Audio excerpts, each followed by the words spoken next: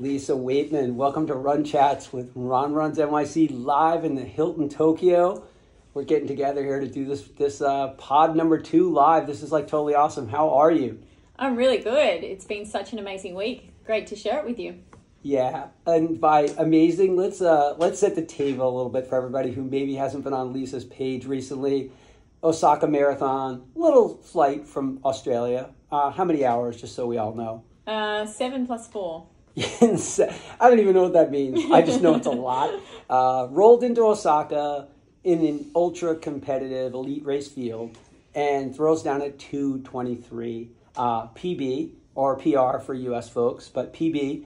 Um, huge, huge effort. Um, fourth place overall, I think maybe 10 seconds out of third. so just monster performance at Osaka. I mean, how excited are you about that? Totally stoked, right?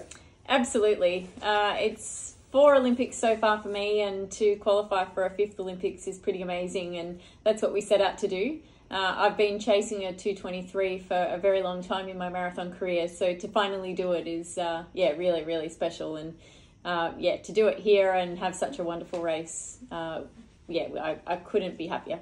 Amazing. Um, we all put goals out there in life. Um, and just again to set the table for everybody, Lisa's 44, mom of a beautiful eight year old. Pete, who's hanging out in the room with us. Lack is here. We got the whole family. Everybody's involved. But 44, mom, full time employee of IBM, 20 plus years as a director, four Olympics. And most people, you know, as we're aging up, we're going the other way. So it's crazy inspiring for you to be putting faster goals out there and chasing them down. And it's just amazing, man. It's got to feel like just incredible. Yeah, if uh, I guess along the way, along such a long journey we've had, you know, you you have moments where you think, is it all worth it? And should I just retire now and focus on other things? And you know, you certainly have those moments quite regularly to decide whether or not it's all worth it, and to then continually put times on the board that I'm really proud of. I'm so glad that I didn't retire. You know, a couple of those moments in those crossroads that you have, uh, because yeah, we've had the most amazing week and uh, to run 223 at my age, I'm pretty proud of it. And yeah, hopefully we can squeeze a bit more uh, in the next sort of one to two years. Yeah. So talk about the race a little bit. What was the course like? Um, I haven't seen Osaka. Um, wasn't able to watch it. One of the things that was a little disappointing. I mean, we're both big fans of Japan, as are your whole family. Um, but for whatever reason, it just wasn't great, like kind of live coverage of the women, particularly like tracking and following them. And I don't think it was a really uh, easy race for people to really tune in and see. So, what, tell us a little about the course. Was it like, and how it was for you, like in the week itself and the race? Yeah, so I was really excited about this race because I haven't ran that many marathons where I've had a pacer that is exactly the pace that I've trained for. And so I knew coming into this race that I was going to have exactly that pace uh, and that there'd be other women wanting to run that pace too, plus a group of local men uh, joining in. So we ran as a group the lead pack for uh, 30k really, and it wasn't until 30k when the lead man pacer pulled to the side that things sort of got going from there, and um, the pack broke up a little bit. But in that section, there was also uh, a little bit of a headwind, and the hills started in that section. So I was aware there were some hills, but you know, you don't like to focus too much on that sort of that part of the race. You just kind of want to experience it and not, you know, not let it get into your head. So uh, that section, I sort of dropped off a little bit of the pace. It got a bit quicker, and I was already on PB pace. So I held. I actually ran one of my fastest 5k uh, splits in that section where I typically would have um, you know really slowed down. So that was the goal of this. I think last set of podcasts that i did um, after berlin i was like the goal for the next one is to hang tough in that 25 to 30 and then 30 to 35 just to you know really kind of see how much further i could hold and and i really wanted to do that this time without fearing blowing up and i really and i did that i didn't slow down all that much and it wasn't really until the last 7k where we had a bit of a headwind and we had the hills um, that I slowed down and I've just, I lost about 30 seconds um, in that section. But I think that was just natural terrain uh, and environmental factors rather than actually really um, changing my pace. So, yeah, pretty special opportunity. Uh, little, you always, you know, want to finish a race and then start to dissect and be negative about, oh, I was so close to second, you know, eight, eight or 10 seconds or second. And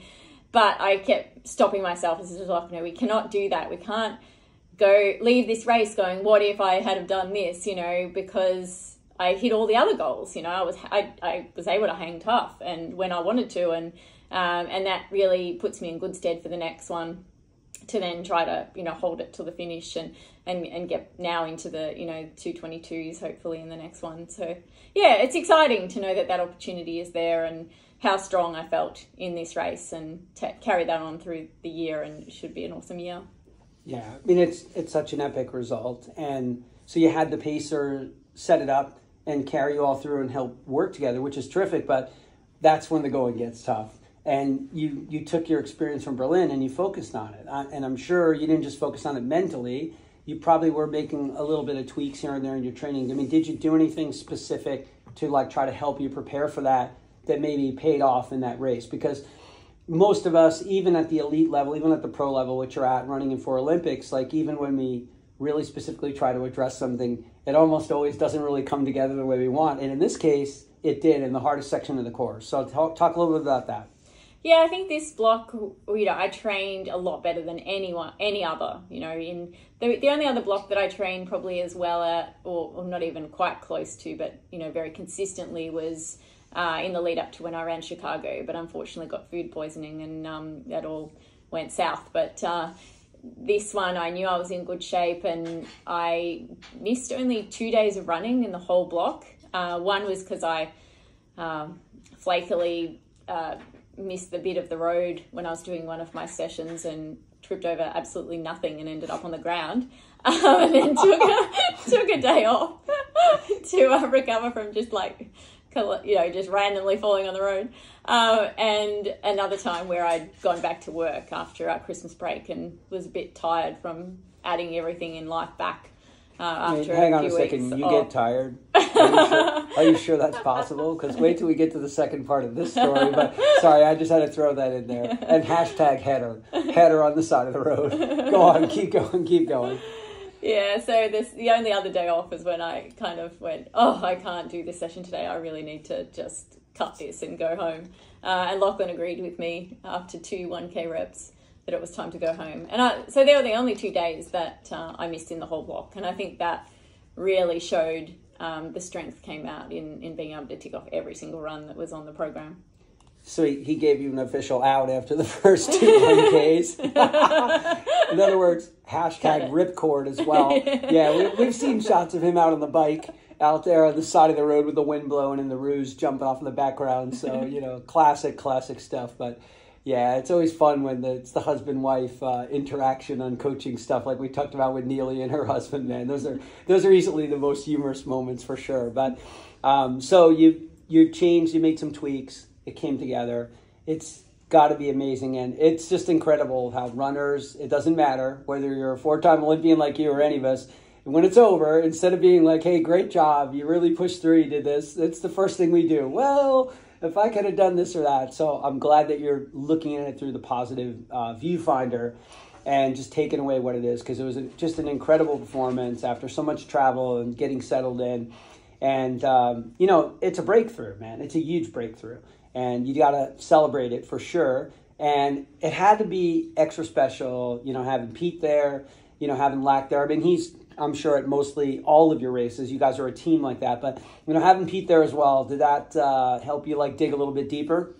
Yeah, it did. And I think the the other special part of coming here to Japan and running Osaka and is that, you know, I've ran well here in Osaka Women's and uh, the last time I was here, though, it was for the Olympic Games, and it was such a tough experience. Um, you know, being away from Lock and Pete for you know almost ten weeks, and then co- going home and, and, being in hotel quarantine, and um, you know that was pretty emotionally challenging. And, if I'm completely honest, by the time I actually got to the moment of needing to get on the plane to go to come here for the Olympics, I was ready to go home. You know, mentally, I was missing Lock and Pete. It was you know challenging with all the COVID stuff. And, you know, there was all, always so much fear around the world at the time. And to then be putting yourself more into that firing line seemed like a crazy thing to be doing. Um, so, you know, I really struggled with that and I didn't really um, prepare for myself, you know, for that mentally as much as I should have. So, uh, yeah, it's certainly been wonderful to put be, have that opportunity for the three of us to come here and, and really put a great result in the board. Yeah, I mean, it's such a special thing because it's a shared family experience, um, and you chalk that up. And so most of us, you know, have like an epic race, and we travel like around the world to get there. Um, in my case, a lot of us and most of the people I'm connected with so closely are part of this Abbott Six Star Series and chasing a six star dream. You know, finishing all the six marathon majors. And we'll get into that a little bit because I know you're only one away. You just need Boston to finish yours off, and you you'll want to get to Then that. I'll be as cool as you, Ron. yeah, no, no, no, no. Everybody's cooler than me, man. I'm just an old dude who's run enough of them that I'm uh, collecting them. You know, at this point, I'm sure maybe I'll give Pete one to take back home because you know, do I really need two? Although Tokyo Teddy has one, and then I have Rue from you two That's from right. our Berlin trip. So right. Rue would really feel left out, and it really would be inappropriate. I think it would be a serious problem for me. So I think I have to work on number three, and then we'll we'll take care of Pete. Um, so again, most of us, you finish a race like that, you crush it. Uh, you're on top of the world. You run 230, 223, sorry about that.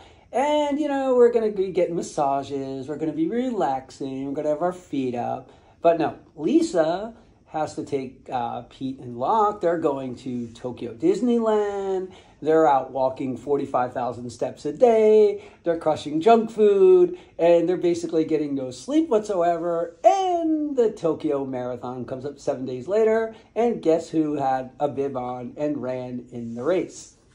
Lisa Weightman signs up, dresses up, throws her bib on, and gets in the race. So let's talk about that completely insane back to back seven day performance. Um, runs 231 in Tokyo, 13th place overall, seven days from Osaka, and all of the stuff that I just talked about. Um, that might even be more insane than running 223 in Osaka. Tell us about it. Well, it was an opportunity to run for ASICS, and you know I couldn't pass it up. I thought, well, you know, it was the fifth star that you know I needed in order to get the sixth, and then I have Boston to go, and I'm here, and I have a bib, and I, you know, I've got these cool shoes that you know I felt pretty recovered in the legs. Uh, I don't know, the whole Disney thing was pretty exhausting. I think we did like six and a half hours across uh, Tuesday and then another six and a half hours at DisneySea. Uh, but we did have a really nice swimming pool, so I think that helped. We swam each afternoon and uh, got a bit of hydrotherapy and I, and I got a few massages from Locke, bless him. So Team Lock. that's right. So earning, earning his keep. I didn't even have to ask. Like I just kept offering. I was like, Nice. yes. I was if I'm going to say no, right? Nice. Very nice. So I think it was like a bit of encouragement there to just give this crazy plan a, a, a bit of uh, legs, so to speak. So I got on the start line. Actually, originally was uh, meant to pace one of my really great friends back home, but she had a back injury and. Um, and then her husband had to have knee surgery, and he was also meant to run here. And another girl from Australia was coming in our party of, um, you know, three apartments. And and then in the end, it just ended up being me. And so Locke and I were like, do we do it anyway? so um, so we did. And uh, look, I didn't set out to run 231. I set out to just try to get to the end as fast as I could without breaking anything. That was the goal. Uh, but as anyone that's ran Tokyo, or if you had the opportunity to watch it, the start is like a stampede. And so I had no choice being in the front to go with the front pace. Otherwise, it would have been like a bit disastrous. I might have ended up on the road again. So the first uh, 5K was like an on sub 17 5K, and I was like, I don't think I'm going to be keeping going on this one, this pace. Um, but then it settled down from there, and then I felt most comfortable just kind of settling in in the last 10K um, to a pace that you know felt more like a leisurely you know run than than the sub 17 5K that I did at the start. Yeah, but to finish, it was really special to have that opportunity to see what Tokyo's like and to experience it from a different perspective. So, you know, you go into the elite um, starting area with, you know, all these amazing women and, you know, it's nerve wracking because you have expectations on yourself. Whereas I had no expectation. My only nervousness was I'm going to all this effort and I really want the finisher medal. So I don't want to blow a calf or, you know, and so I had to work out how do I run this to get there as quick as I can, but without, you know, doing that. So the nervousness was around will my body let me down or will I make it um, more so than actually wanting to achieve a certain result or a certain time. Um, so I was a little worried, you know, here and there in the race when legs were getting a bit tired and you know what I'd be doing to them, but it all worked out and you know you get a bit of comp- you get get a bit competitive with yourself anyway to pass the time you know. So i was trying to um, you know i was running with actually a really nice group. One of the guys grabbed a cup some cups of water and gave me a cup of water along the way and um, so I ran with them for quite a large portion of the middle section, and that was good because you can switch off a bit having a group. And then uh, also, I got to see some of the Australians that I knew were running that we caught up with after, and they stopped and took photos and shouted out, and I'm um, sort of waving and wishing them well. And um, so that was the beauty of experiencing it from a different lens, I think. Uh, I'm glad I had that opportunity because I haven't just ran a marathon for the enjoyment of running one before, and so this was yeah that that chance. Yeah. Little crazy. Not sure I recommend it. Seven days apart, but um, but it's done now. Yeah. 223, 231, fastest to within seven days, probably in history. Um, and that 231 is still ranks incredibly high in Australia's marathon list. I mean, it's not like it's a time that isn't amazing in its own right, and that's seven days apart. So, um, just truly amazing. Thanks, Ron. It's uh, yeah, we're we've certainly uh, taken the I guess the careful road. I, I think as a junior, I had eight tibial stress fractures, and so I've always you know really done things carefully, not taken too many risks. I'm not a huge risk taker. Um, and you know this was a bit risky, but it was kind of nice to just try something different. I mean, you know where I'm at in my career, I'm I, just wanted that opportunity to run Tokyo and and really experience it, and it was there. So it seemed, you know, like I would regret it if I hadn't have tried. Yeah, I mean, you have to be cautious, obviously, as you're moving forward and a chance to do something historic like five Olympic Games, um, which it is, just amazing, mind blowing.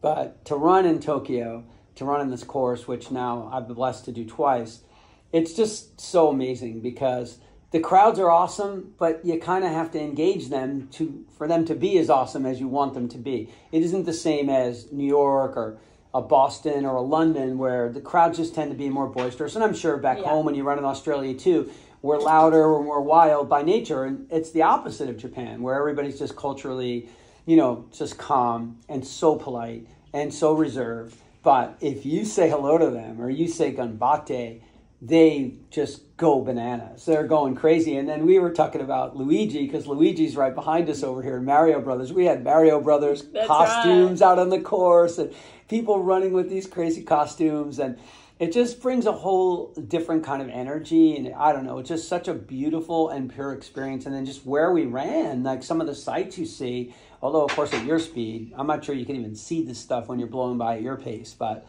um, hopefully, you got to enjoy some of the sights that you saw as well. Yeah, it was a good experience. Yeah, I think seeing the costumes and seeing the Mario Brothers group. I think it's a bit different at the moment too with the COVID and the fear of COVID. I think for a while here, you know, there was signs up. I know for the Olympics where people weren't allowed to cheer and things like that. So because of the fear of spreading germs with um, speaking out loud and um, so, you know, perhaps also that kind of toned down the crowd a bit um, from previous years. It would be my guess there too. So, because they were a lot, eh, things were a lot quieter than I did anticipate, um, given her, how much I'd heard about bands and atmosphere and stuff on the course. The people were out there; they were definitely there yeah. cheering. It, there just wasn't that that loud, um, you know, that the noise and and all of that that I expected was going to be there. So, but hey, the just the participants, like seeing the sea of people come through when you're doing all of the switchbacks and you know being able to see the people I knew who were racing I thought that was amazing given how many people were running that event and I was actually able to see every single one of the Australians that I knew were running we were actually able to wave at each other was pretty remarkable yeah that's really cool um, because uh, you're talking about the switchbacks. I mean, I had forgotten how many there were. Mm. I mean, I knew there were a bunch. I just didn't realize there were that many. And uh, at times, I'm like, wait a minute, are they ahead of me? And I'm like, how is that? I know that person. They're ahead of me today. I'm like, oh no, I think they're behind me. Like I couldn't tell anymore. Like as it would loop around, like who was ahead of me and who was trailing me, and it doesn't matter anyway, right? But the, the most important point is you're seeing people. People are shouting out your name. They're giving you a yell. People are yelling to me. And it was always at the moments I needed it. You know, when I started to feel like I was drifting a little or just feeling the effort a little bit, you know, somebody would yell out, go run, runs NYC, whatever. It was like, yes, like energy, boost. And just felt amazing. And, you know, photographers all over the course, crowds all over. Definitely more sedate, but awesome. Yeah. And, you know, just for, uh, for your audience and crew back home in Australia and anybody who listens to the show, man, you got to put Tokyo on your bucket list. I mean, obviously you guys know i'm the hype person for running the six star series but it's just such an amazing adventure just to come to japan period um, you know whether you get out to kyoto and osaka where you guys were when you first started or hiroshima or any of the other places lake hakone you know just so many beautiful places and of course if you got the young ones like pete you gotta gotta do disney or legoland or any of the other fun things here because this is anime heaven here and Yeah. costume heaven like Yeah. they're all about it so um super cool. So you checked off two crazy boxes. You crushed two races in one week. Three. Tokyo Disney as well, Ron. Oh, so sorry. We're gonna we're gonna definitely make sure we highlight that and tag Tokyo Disney in this post as well. Thank you. Uh, totally awesome. But now you have five. You got five stars, and you saw you were part of the race today It was a Guinness Book of Records for the most Abbott six star finishers. We came into the race with like 8,300, eight, call it 8,500. We're over 10,000 now, um, maybe even closer to 11,000. So it was remarkable that it was that many runners earning a six star. And you have this bib that you get on your back, and it says, I'm earning my six star today, and you could write your name on there. And it's just so cool because mm-hmm. it just pulls all the other runners in to be able to support you personally and give you some love out on the course. Like, hey, my name's Lisa, my name's Ron, I'm running for a six star today. So um, I think that added like a whole other level of juice to the event yesterday. And now you're going to be one away. So you're going to have to pay this thing off. So Boston, so. it's, Boston it's there. next, and, yeah. you know, to finish it at Boston is even more epic. I mean, come iconic. on. Yeah. I mean, we're at 127 this year, so you know, I'm sure there's no way on earth you would even think about this year with what you've just done, or unless you want to run a marathon next I mean, weekend. I think you I know. need a rest. Yeah, yeah. yeah, I think Well, I'll have a rest this time. Yeah, let's let's talk to your coach over here. Yeah, I don't think we're running a marathon this week, unless Pete unless Pete says you're going to go somewhere else and run one, because Pete's probably really in charge of this operation. I think you know, so. if we really think about it. But so Boston's there, you know, that will be super cool.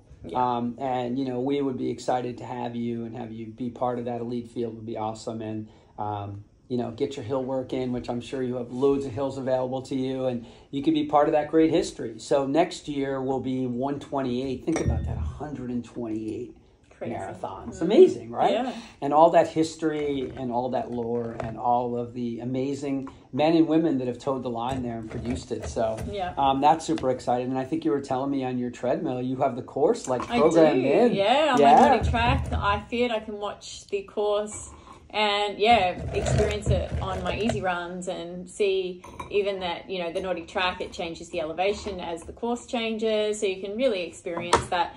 And we've watched that a few times, uh, particularly in the lead up actually to the Olympics when I had to do some of the heat acclimation work. I was able to go through and, and watch each section of the course and experience that. So I have a fair idea as to what I'm going to experience when I have that opportunity to run there and yeah, celebrate the six star. That'd be pretty cool. Very cool. And we got we got props. We got six stars all over the place. That's here. it. we got it. two six stars. I actually got my second. And there's only 40 of us in that class out of about 11,000. So that was really fun um, to be part of that festivity and that energy level yesterday. Um, and you will get to join the six star family, which is amazing. And I'm rooting for Sydney to become number seven because that'll be just an excuse for me to come down and visit you guys. That's so, right. Yeah, we're really hoping that's going to happen. There's so much hype about Sydney, and you know all the elites are getting behind it. And yeah, we'd really love that opportunity to bring the world to Australia. It's a long trip over, but it's absolutely worth it. We've got a pretty amazing country. Oh gosh, yeah, and I can get to cross it off my bucket list because embarrassingly I haven't been there. So Ron runs NYC has to hit the land of down under because otherwise Rue is gonna just like cut me off. That's Rue it. might just take me out in the middle of the night, man. Rue's got the boxing gloves on. I, I won't even see it coming. He'll just probably just come and take me out. And that'll be the end of me. Like what happened to Ron runs NYC, taken out by Rue. You know, I mean, secretly you probably had this all planned. You know, like because I because I haven't come for a visit, but. Um, so what's next? I mean, that's just like the most amazing literally the most amazing week, back to back for two races ever. You guys are getting ready to take the long trip home. What's next? Obviously, recovery, build, cycle in, really get yourself back together. Is any? I think I remember we might have talked about going after maybe a half marathon record or something like that, or no, just like no real like long term plans right now for anything special. Yeah, well, I think I've done enough marathons in the last week, so we'll hold off on that. Uh, but, but yeah, back home, um, back to work, and Locke's back to work. Locke, Pete's back to school, so that's pretty much straight away. And then we'll hope to do some 10k and half marathon races locally, and yeah, really run well across that circuit. Um, I ran a 10k PB in May last year, so we'll um, have another go at um, getting a faster 10k time.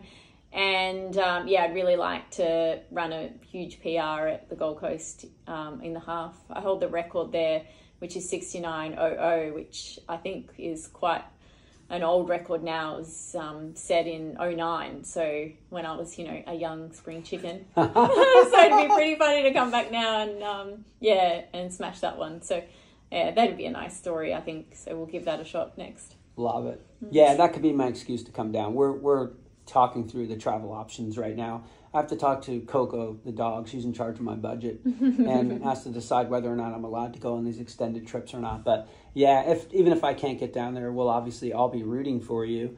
And uh, it's inspiring as hell, man. I can't tell you how much I appreciate you coming over with everything you guys have had going on to come down and sit down and share some time before you guys fly home and and uh, chat up the Run Chats audience and tell tell them all about this amazing work because they're going to be inspired as hell.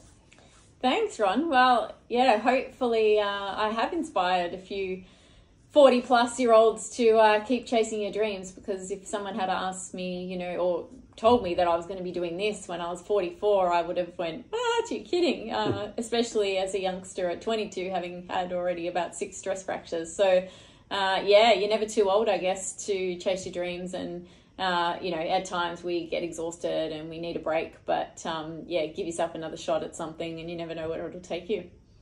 That's the best final message ever.